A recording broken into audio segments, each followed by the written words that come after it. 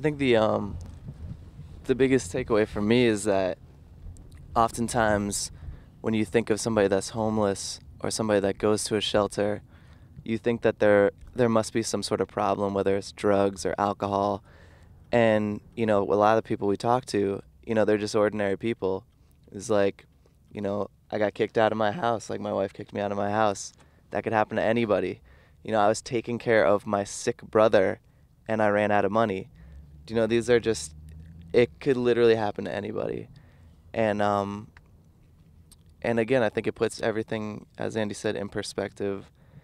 And um you know, I think next time you see somebody that is homeless or that is in need, you know, you need to sort of put that in perspective. You don't know what their story is, where they came from, the reason they're there, um, because it could be, you know, the reason could be completely benign.